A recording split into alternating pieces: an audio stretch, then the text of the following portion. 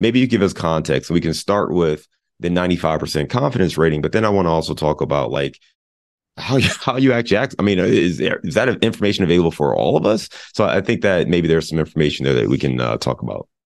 Carnegie Mellon University is based in Pittsburgh, Pennsylvania, where we were building the algorithm. And Carnegie Mellon did a project, and so did the University of Pittsburgh. All of the undergrads for a couple years did a project with Allegheny County, where they gathered all that data and they structured it and they labeled it perfectly for us to build an algorithm on. So we got an off the shelf algorithm, tweaked it a little bit. You know, it's not like we just, you know, pulled a book off the shelf and then poured a bunch of data into it and aha, we have 95% accuracy. But we put a lot of work into perfecting that off the shelf algorithm.